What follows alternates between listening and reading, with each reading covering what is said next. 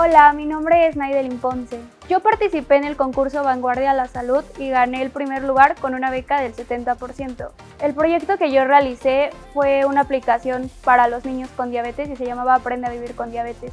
Para mí fue muy importante obtener esta beca porque me di cuenta que estudiar aquí era una gran oportunidad que me iba a ayudar a salir adelante. Mi experiencia fue bastante satisfactoria desde que inició el concurso porque siempre me hicieron sentir bastante cómoda y si yo tenía alguna duda o algo así, siempre me estuvieron apoyando y me respondían a todo momento. Lo que yo le diría a otros jóvenes que están en busca de una beca es que investiguen porque Ibero siempre pues es la mejor opción los invito a participar en los desafíos académicos para ganar una beca y poder estudiar en la Ibero Puebla.